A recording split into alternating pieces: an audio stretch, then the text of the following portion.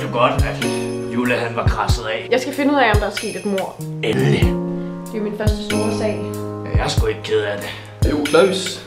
Men det han gjør, det er at levere en ordentlig, ordentlig god jul til alle som ønsker det. Så er det slut med alt det ho, ho, ho og pisser ævl. For min skyld, der kan I bare afløse julen. Politivold! Ja, det Møgfiskbro! Hold kæft!